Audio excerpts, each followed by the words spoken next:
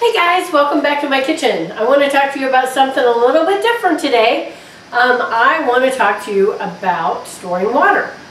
Now, in light of everything that's going on in the world, we all realize, I think, that it's important to have some water on hand because we can't live without water. Um, I don't drink tap water and I'm happier if I have some distilled water on hand that I can drink. Now, a lot of people store water and um, get the little plastic bottles like you get at the store, and if that's what you're comfortable with, that's fine.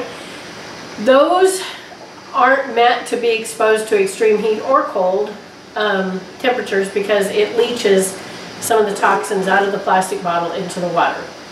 And over time, the, those bottles do break down. They're not meant for long-term storage, and they're really thin. I don't know if you've noticed, but they're Sorry, my pan of lids over here is making a funny noise. They're um, making, they make crunchy sounds and they're just not very uh, strong like they used to be. So anyway, I, I was thinking um, what would be the best way to store water. And I've come up with a plan and I've done a few of them. Uh, now, they say that you need two gallons of water per person per day to get by. That's including your um, hygiene, dishes, cooking, all that. But what I'm talking to you about today is just drinking water.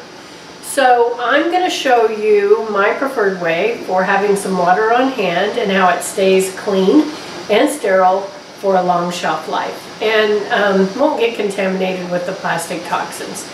So my husband asked me the other day, he goes, what is your process for uh, storing and canning water? And I said, well, I just take a jar and I reach for a couple of hydrogen and an oxygen molecule and throw them in there and put a lid on it. He just looked at me like, are you crazy? Yes, I am. And no, I don't do that. But anyway, I'm going to show you how to can water today. And I think it's the best way to have drinkable water on your shelf. And so come on, let's get started. Okay, we're going to hot water can this. My hot water canner holds seven quarts. So that's what I'm going to do is seven quarts. I have here um, an electric hot water pot. Now I drink distilled water, so I have been boiling this. And uh, I have to fill it several times to get seven quarts out of it. But I'm going to go ahead and fill my jars. I have two jars out here. Now these jars are sterile. They've been come right out of boiling water. My jars, my lids, my rings, everything has been in boiling water because it's important to me that this water stays sterile. And since it is sterile, it can also be used for medicinal purposes too, which is really important in a crisis or whatever. Um, I mean, you don't even know if you're going to get, you know, something could happen to the water lines, you're going to get snowed in. It's just nice to have water on hand. So I'm going to refill this pot. I'll be right back. All right, we're going to get that on to boil.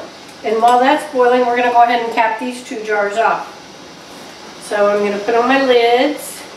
This is so easy. The most expensive part of this would just be your jars, and um, I tend to inherit jars. I do buy a few, but for the most part, I get my jars other places. And Marketplace is a great place to, Facebook Marketplace, to get some jars. This time of year, it's a little bit harder because everybody's canning, and you know, with everything going on, more people are canning. So I'm going to go ahead and put these in the pot. Now when I get all seven jars in here, I want the water to come up about an inch or two above the top of the jar. And in the meantime, I will just pack up my other jars.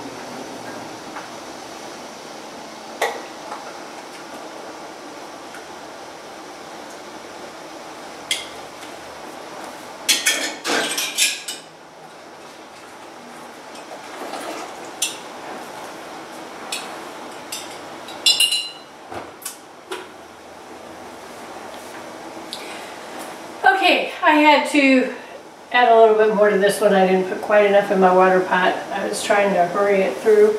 So I'm going to let that boil. Now, whatever water you put in your jars, if you're comfortable using tap water, I don't want the fluoride and the chlorine in my water and anything else that happens to be in there. I've distilled water long enough that I see what's left over in the pot at the end and I'm not good with that. But if you want tap water, that's fine. If you have no water, you're going to wish you had something. But boil it really good. Um, whatever you put in your jars needs to be sterile so that it won't grow anything. And they need to be stored in a dark place. So, um, got this last little bit finishing up. I actually stuck into while the camera was off. I forgot to turn the camera back on. So I do have, this is my seventh jar getting ready to go in the pot. And uh, hopefully I put enough water in this time. Yay. Alright, let's get this guy capped off and get it going. Because it actually is making my kitchen a little bit warm. So these look so clean, so fresh when they come out. Um, all right. My water is over the top. I'm going to show you in the pan. Come over here for just a second. All right, come on over just a little bit closer. Look down in the pot. See how the tops are covered with about an inch of water. That's good.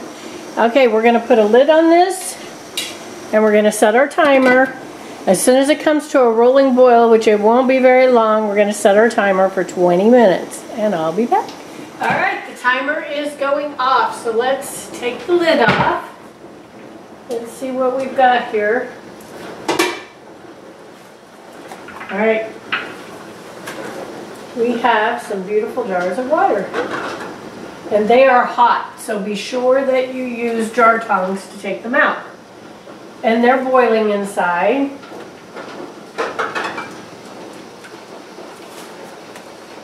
I set them on a towel on my counter so don't ruin my counter.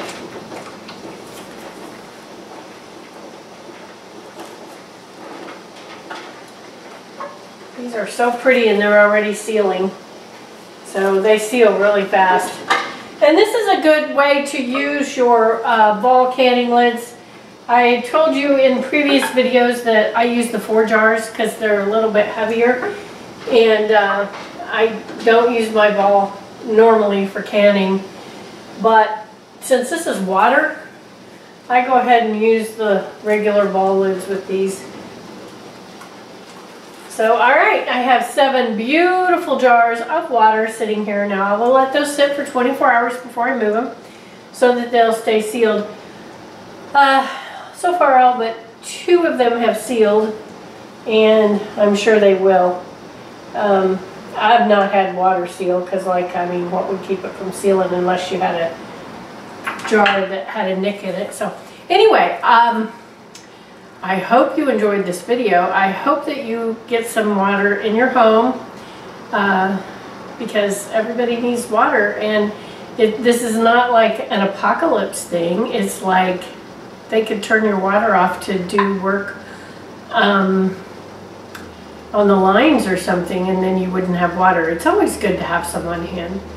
So I hope you like this video. I hope you will like, subscribe, and share with your friends.